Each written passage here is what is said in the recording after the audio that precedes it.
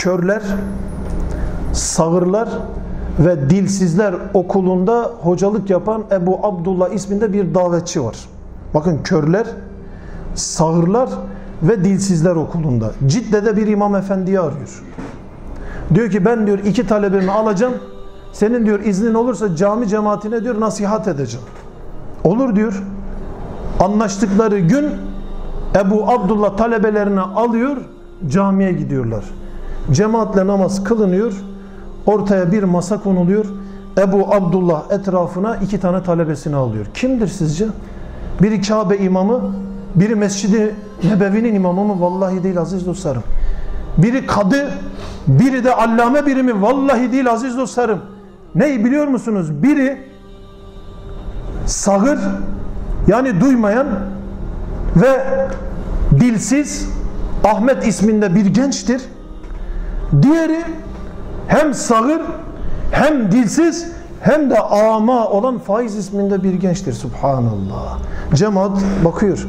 Yahu belki bunların içerisinden bir adam demiştir ki koskoca Cidde'de Mekke'ye en yakın yerlerden birinde topu topu bize nasihat edecek şu iki genç midir? Her tarafıyla eksik, nakıs olan şu adamlar mıdır? İnanın belki içlerinden geçirmişlerdir. Yani alimler dururken, davetçiler dururken, ders sahipleri dururken biz iki tane yarım adamdan mı Allah'ın dinini öğreneceğiz? Onlardan mı nasihat alacağız?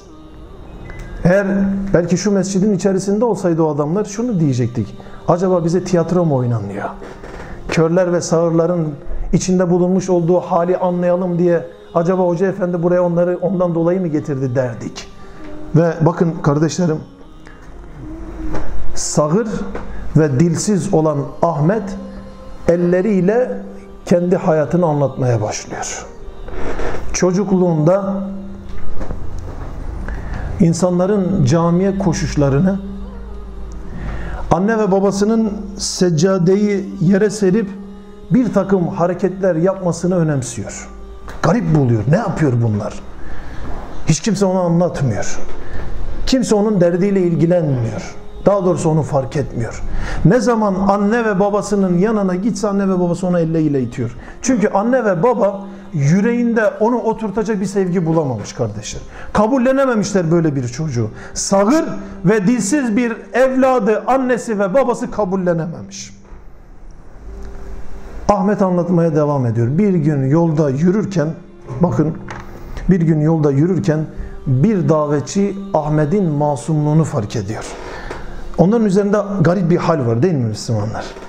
Allah Azze ve Celle ne halde olurlarsa olsunlar ister zengin ister fakir ister inanan ister inanmayan hangi halde olurlarsa olsun onların üzerine bir masumluk bırakmış. Bir davetçi dertli bir adam onların bu halinden etkileniyor. Ahmet'e doğru yöneliyor. Ahmet'le ilgileniyor. Ahmet'i namaza alıştırıyor ve Ahmet bu kısmı anlattıktan sonra gözyaşlarına tutuluyor. Hıçkırıkların içerisinde Ebu Abdullah'ın böyle boynu yere düşmüş. Sizce Ahmet neden ağlıyor? Anne ve babasından gördüğü zulümleri mi hatırladı? O davetçiyle beraber olduktan sonra toplum tarafından kınanmayı mı hatırladı? Evlenememesi, iş sahibi olamaması, toplum tarafından itibar göremeyişi, insanların alaycı şekilde bakışları, o hızlı hareketleri var ya, seri hareketleri var ya, panik atak tarzı bir ruh haline sahipler ya. Bundan dolayı insanlar gülüyor, alay ediyorlar. Buna mı ağladı? Vallahi değil Müslümanlar, vallahi değil. Neye ağladı biliyor musunuz? Mehmet abi.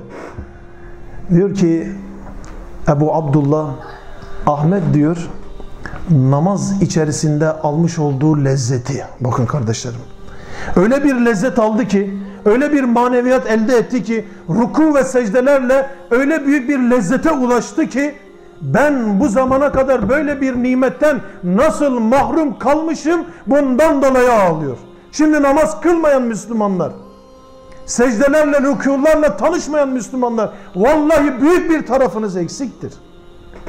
Namaz kıldığı halde namazı bir yük bilen, namazdan huşu almayan, namazı kaçarcasına kılan, aman şu sorumluluğu üzerimizde atalım da kurtulalım diyenler de vallahi kalplerinin katılaşması yakındır. Kim olursa olsun. Ahmet'e bakın. Özür sahibi bir adam. Dilsiz bir adam.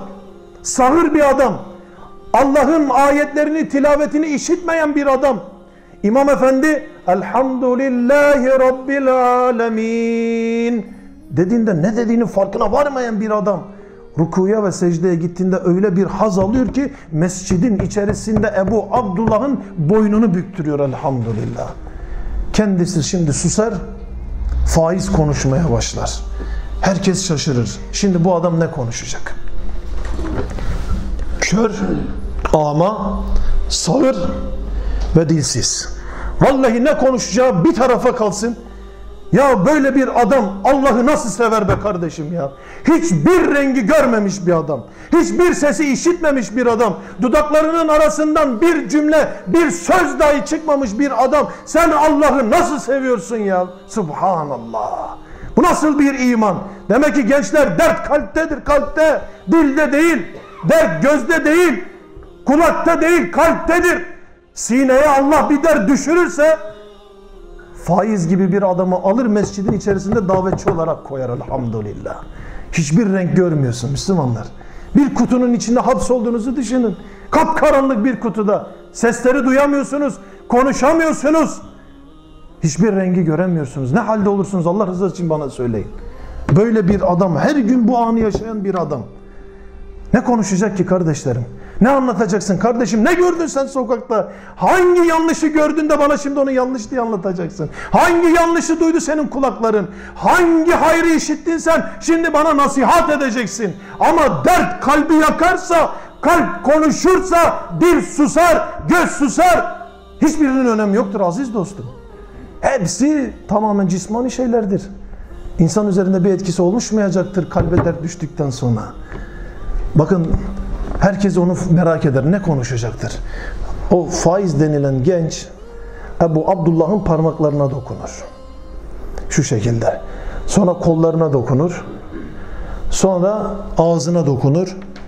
Kulaklarına, sonra gözlerine dokunmaya başlar ve Ebu Abdullah tercüman olarak şöyle der. Faiz sizi gözlerinizle ve kulaklarınızla yapmış olduğunuz günahlardan dolayı tevbe ve istiğfara çağırıyor. Subhanallah.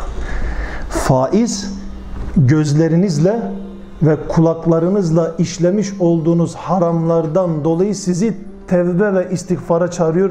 Başka hiçbir cümle yok Müslümanlar. Başka anlatılacak hiçbir şey yoktur aziz dostum. Ne oluyor sonuç? Mescitte insanlar hıçkırıklara boğuluyorlar.